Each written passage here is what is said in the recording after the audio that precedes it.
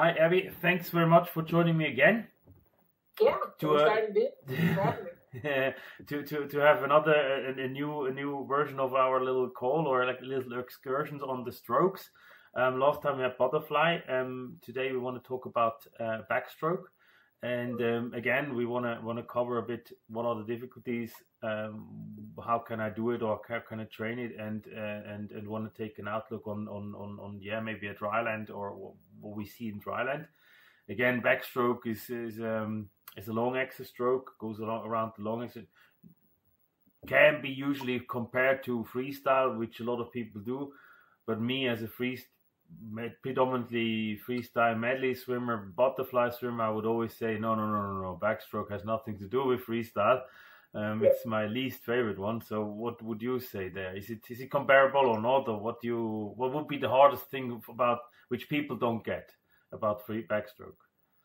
Yeah, I actually, so I'm doing a presentation next week um, at a convention here in the US on backstroke. And one of the slides I just wrote last night was how backstroke is commonly forgotten um, because it's often compared to freestyle.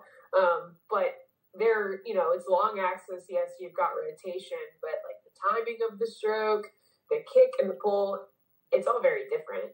Um, so if you approach it as a coach, like the same way as you approach freestyle, that is to the detriment, I believe, of to your swimmers. hmm Yeah. Now, for, for me, for me, backstroke was always I like as I said from the outside it looks like similar and it has a similar rhythm and whatsoever, but it is what a lot of people don't see. It's more like it's a lot heavier on the legs than on the Yeah. arms. Um, because the, the, the propulsion, other than in freestyle, where a lot of the propulsion comes from the arms and arm movement, which gives some sort of the tone of the stroke. In backstroke, it's most of it out of the the, the hips and the, the, the hips position and the, the legs and the kicks that it drives you up, and then the rotation you need to do it do it as fast as possible. Would you would you agree there? Yeah, one of my favorite Olympians talked about how he felt like backstroke was a crunch.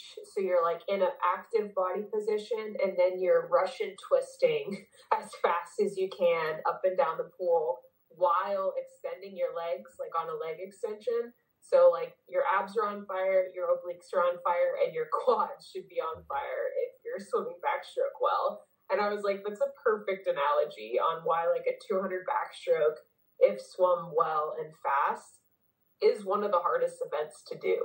It is, it is, it is, and uh, for me, it was always, yeah, one of the most, uh, if I can say this, um, sorry for my French, hated stroke ever. So uh, in medley, I was always happy that I could compensate with breaststroke and then the other strokes. So there were, I could, I could swim uh, back in the days. I could swim medley and breaststroke as fast.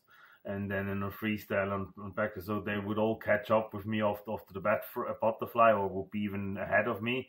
And on the breaststroke, I would go and get them, and on freestyle, I will take it home. Uh, but for, for me, it was never really understood why. I mean, as I said, it is it goes against my natural where I have also more bo- upper body strength, and all these backstroke swimmers are predominantly very like lean and and and and and and, and, and not, their back their back is not very V driven. It's more more more more straight line or straight back and and, and pose like the from the anatomy of, of a swimmer when you compare them, I guess. Um, yeah. But also, as I said, it's one of one of the like all strokes are difficult, but the backstroke is for me the biggest animal. But what would you say? I mean, when you see what are the hard, what are the most difficult things about backstroke? I I usually say it's the rotation because if they like the kicks, obviously that that needs to be done, but it's the rotation. If they don't do it well enough, they end up having the arms somewhere here, or they don't get it get the arms early enough in to have a proper stroke when they when they want to push through. I don't know. What would you say? What is the hardest thing about it? I would agree, and I, you know, I think what you touched on earlier for like the kick. So the kick in freestyle, you have choices. You could kick two times, you can kick four times, you can kick six times, and with backstroke, there's no variability with legs. Like if you're not kicking, then you're probably not swimming that fast. So that in itself is a huge factor that has changed between free and back. Um, And then on top of the fact, yeah, you need more rotation in backstroke to get the hand deep enough to be able to pull well. Um, that you can get away with a flatter freestyle. There's there's options. There's more options in freestyle than there are in backstroke. So you're taking a flat swimmer in freestyle that doesn't kick very much and popping them over onto their back. They're going to struggle with both of those pieces because they're going to not want to kick and they're not going to want to rotate, and that's going to be hard for them. Yeah, that would be me, I guess. You explained it very well. So they're gonna put me off that. The body rotation is always there and shoulder rotation as well. Is not to mistaken. Usually people mistake also in freestyle they mistake it. You know they compare it or they they they mix it up.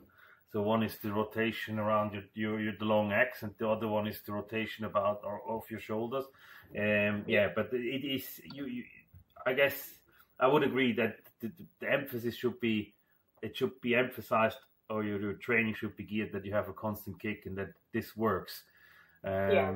The other thing which I usually also see when when people start doing backstroke is this, you know, this we call it cycling. You know, the cycling movement. So they move, yeah. move their, but that's yeah, you could say the same thing for freestyle, but there it happens less, or it's mm-hmm. less of a problem, except because of what you said: three, uh, two, four, and six free kick, and you can you have a variety there, and you can have also a pull buoy.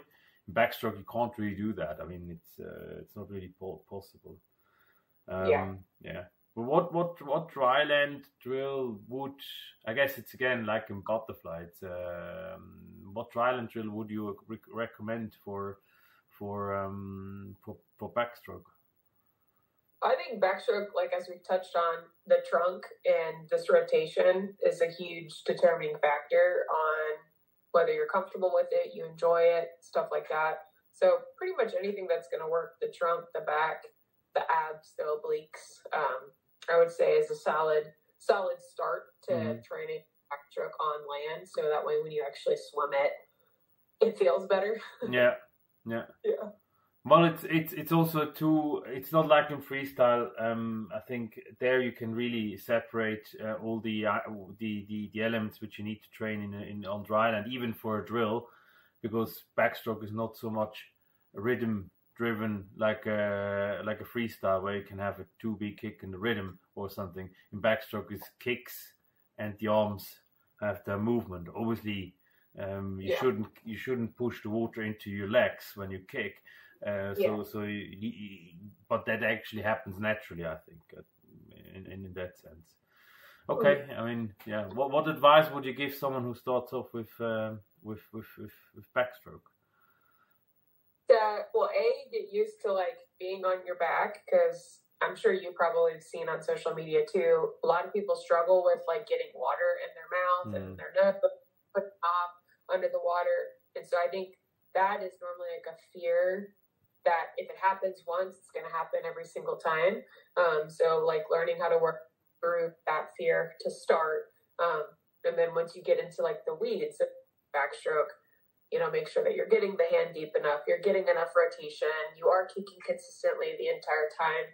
Um, but yeah, like there, there's a flow with the breath and backstroke that happens naturally in freestyle, but it can be offset with the fact that you're your mouth is now totally out of the water the entire time that people sometimes hyperventilate or they hold their breath more than they would when their head is down. Um, you've got to get that flow right um, mm. in all the but really you know in backstroke you don't want to gag on water or take water up in your nose when you're swimming that that's not fun for anyone.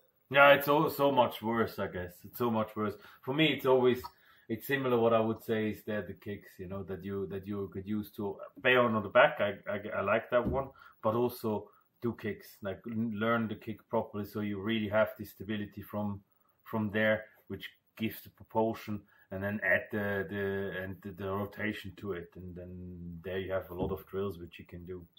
Well, I guess yeah. I guess this is this is um, this is a good uh, good good entry point for uh, for backstroke. I think um, if our followers or people who are listening in want to know more about the backstroke, as in other things or whatever they want to know, they should tell us on in the comments. And also, by the way, I have forgotten about last time. Uh, follow, like, and and anything. So the fish, also Abbie Fish and uh, Markus Marthaler, and our YouTube accounts and Instagram and TikTok. We are everywhere, and uh, yeah, we are, we are, we are, we are. We're like everywhere. yes, we are everywhere, and um, yeah, and um, we will most probably cover other topics as well. And the next one will be breaststroke. Mm-hmm.